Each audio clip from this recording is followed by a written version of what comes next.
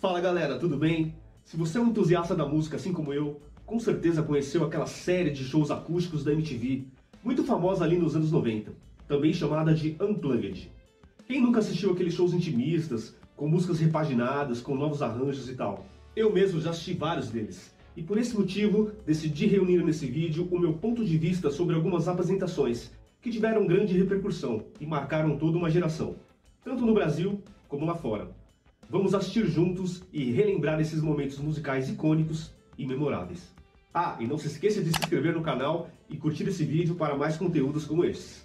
Bora lá! Não há como falar dessa série e não mencionar o acústico do Nirvana.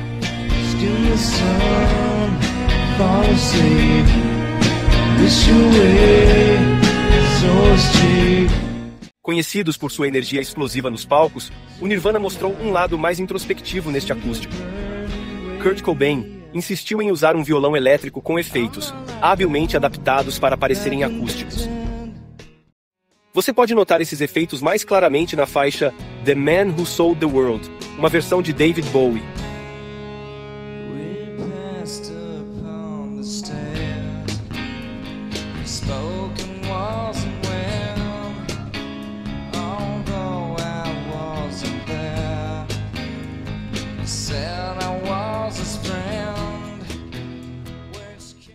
O ambiente foi cuidadosamente decorado como uma espécie de funeral, com lírios e velas pretas criando uma atmosfera única e sombria. Tudo foi gravado em um único take, apresentando músicas menos conhecidas e alguns covers, incluindo a participação dos Meat Puppets. Para mim, uma das melhores partes do acústico.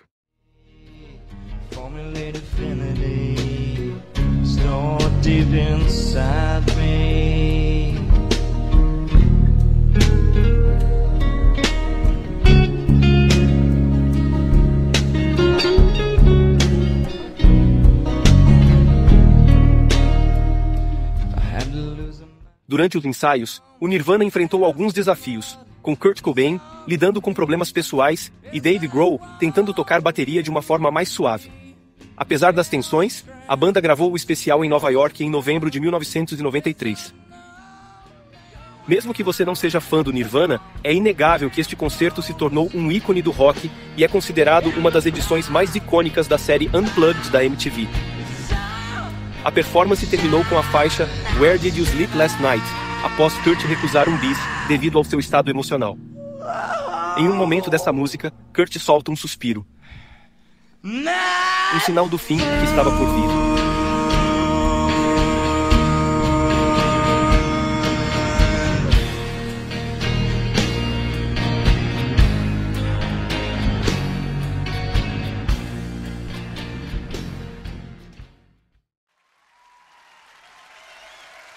Em 1991, o D.R.E.M. fez história ao participar do acústico da MTV.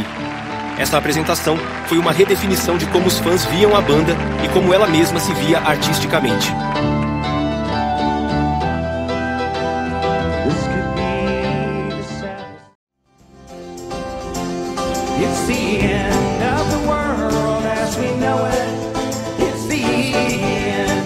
Depois de sucessos como Losing My Religion, a banda decidiu explorar uma abordagem mais contemplativa e acústica.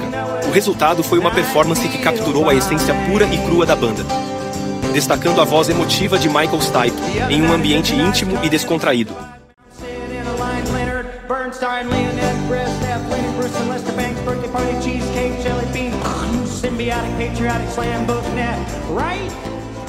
A escolha cuidadosa do repertório incluiu tanto os hits aclamados quanto algumas faixas menos conhecidas, mas igualmente poderosas.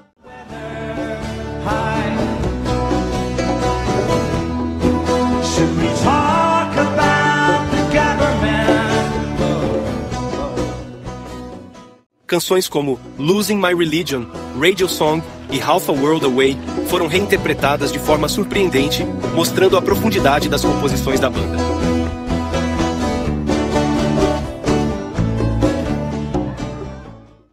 O ambiente também desempenhou um papel crucial, criando uma atmosfera acolhedora com luzes suaves e uma configuração quase caseira.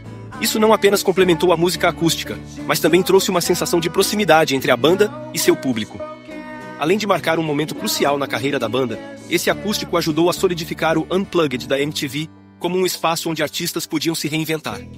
Embora a banda tenha voltado ao programa em 2001, foi o show de 1991 que realmente capturou a imaginação dos fãs e estabeleceu um legado. Para os fãs e admiradores da música autêntica, este acústico continua sendo um dos momentos mais emblemáticos da história desta incrível banda.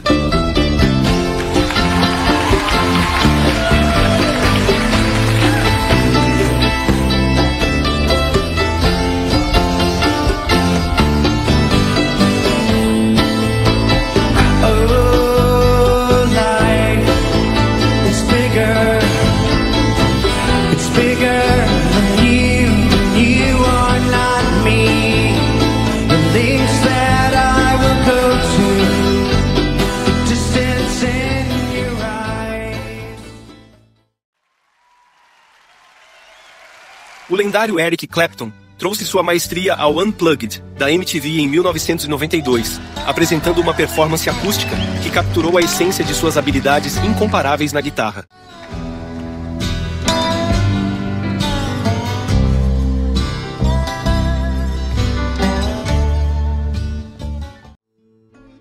Tears in Heaven, uma canção emotiva escrita após uma tragédia pessoal, e Leila, reimaginada de forma magistral, são exemplos de beleza e musicalidade.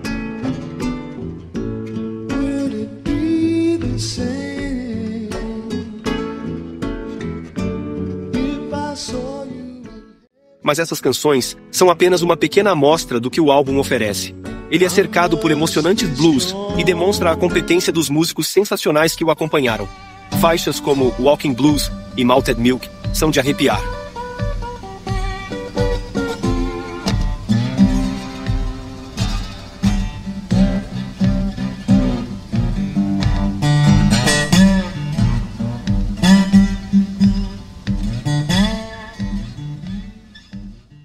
Os sortudos que presenciaram este show ganharam ingressos sorteados pela rádio BBC, mas não sabiam exatamente o que eram esses ingressos. No convite, havia apenas uma data, 16 de janeiro de 1992, e um endereço, onde vans os levariam até um local secreto.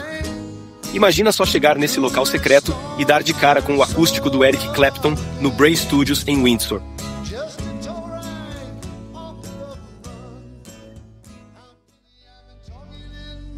Bem à vontade, Clapton interagiu bastante com a plateia. Ele até improvisou uma versão de Rolling and Tumbling, de Muddy Waters, que foi muito bem recebida pelo público. Este acústico é, sem dúvida, um dos melhores da série Unplugged, se não o melhor. Deixe aí nos comentários se você concorda. Comenta aí sua opinião.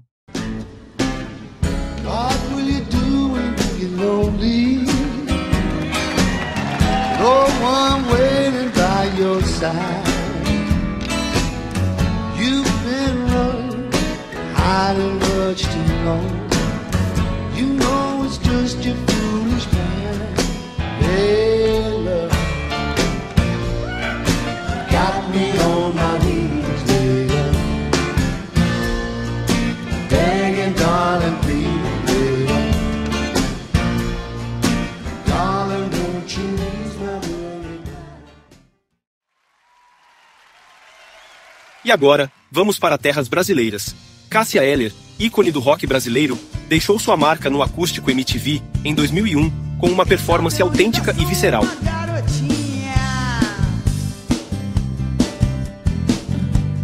Esperando o ônibus da escola,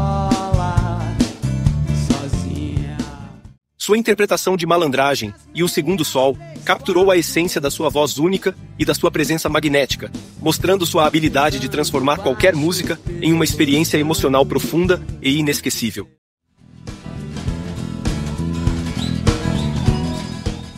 O álbum recebeu críticas polarizadas. Enquanto alguns elogiaram a voz de Cássia e as parcerias, outros sentiram que o formato acústico limitava seu estilo irreverente de palco.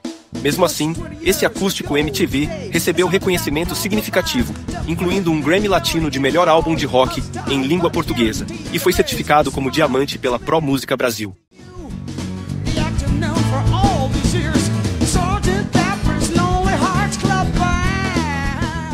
Apesar das faixas mais conhecidas, o disco está repleto de versões sensacionais como Partido Alto e Vá Morar com o Diabo, que na voz de Cássia ganharam outra vida.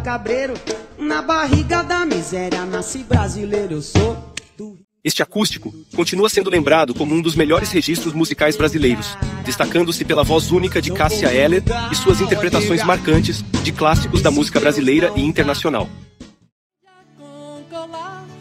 A tarde linda que não quer se pôr Dançam as ilhas sobre o mar Sua cartilha tem um ar de que cor que está acontecendo. O mundo está ao contrário e ninguém reparou.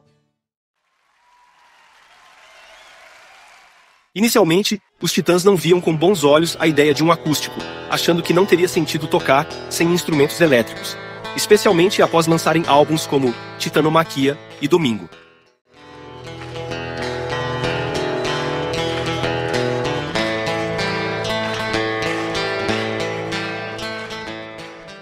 Porém, mudaram de ideia ao descobrir que os Paralamas do Sucesso também haviam sido convidados, o que os motivou a aceitar o desafio e mostrar que podiam competir e se destacar no projeto. Olhei até ficar cansado de ver os meus olhos no espelho.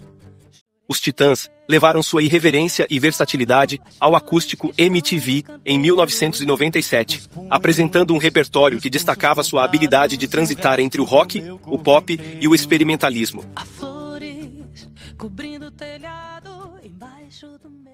Destaque para o cenário ousado e grandioso, cheio de janelas, com uma orquestra e ainda com a participação do Liminha como produtor e membro da banda nesse acústico.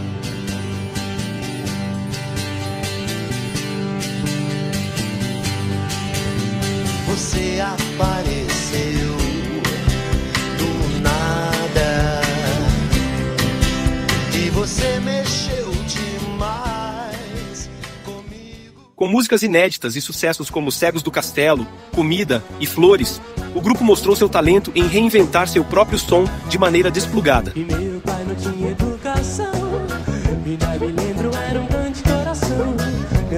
Vida com muito suor E mesmo assim não podia ser pior Pouco dinheiro pra poder pagar Todas as contas e despesas do lar Mas Deus quis ver-me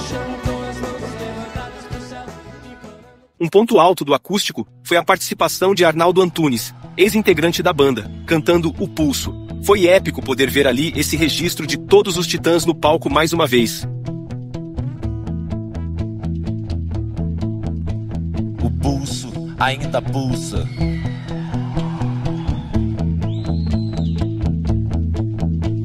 O pulso ainda pulsa.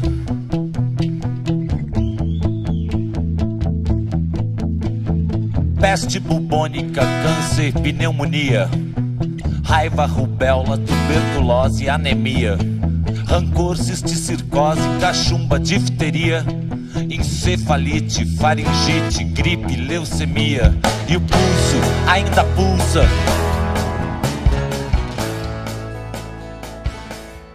com arranjos renovados e participações especiais como Rita Lee, Marisa Monte, Marina Lima e Jimmy Cliff, o show no Teatro João Caetano, no Rio de Janeiro, se tornou lendário, vendendo 1,5 milhão de cópias e consagrando este como um dos mais vendidos da história do rock brasileiro.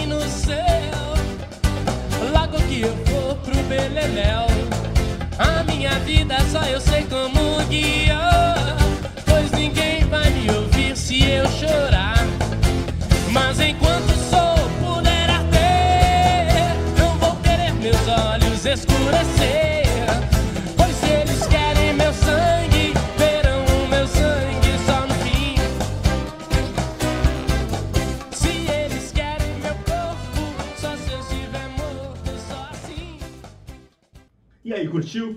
Claro que existem outros acústicos que são sensacionais e mereciam muito estar nessa lista.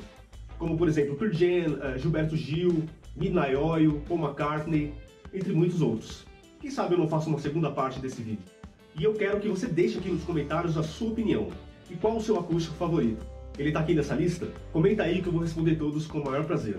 Até a próxima e fui!